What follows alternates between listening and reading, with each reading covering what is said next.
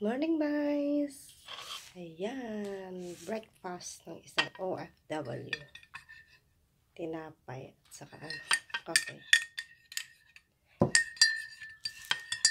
Yan lang guys ang breakfast namin dito sa abroad. Ayan, breakfast, breakfast pag may time.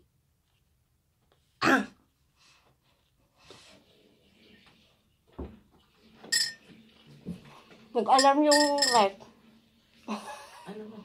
Tumutunog ang lakas. Bakit? Tinanggal ni Froy muna. Sabi niya, mag, na, baka na-defrost daw yung ano eh. Ay, baka nag-ice daw yung makina. Ah, Dinidit, eh, tinanggal niya.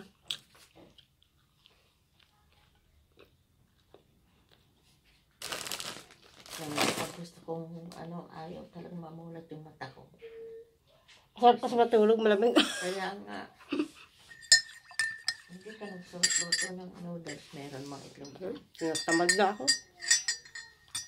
Ko, kumigas pag malamig. Pati nga, ang gulay, di ba, nagkaroon ng yelo.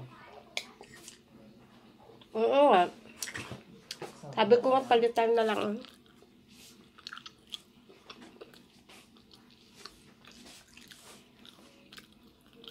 yun pa yung sobrang balat ng sa ano. Kumot. Sarap ka. sa lumpia ni ano. Tagal na yan ah.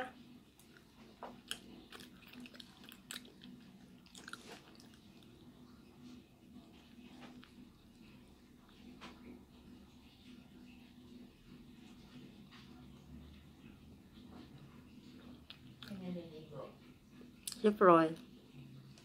Pasok lang niya.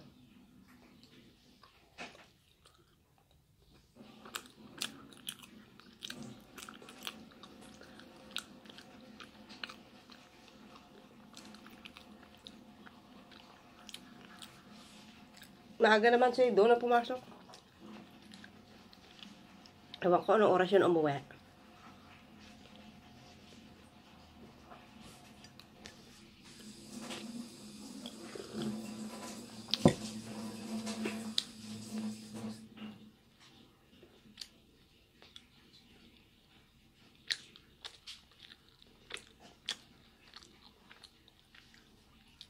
Ito, ato si Miley.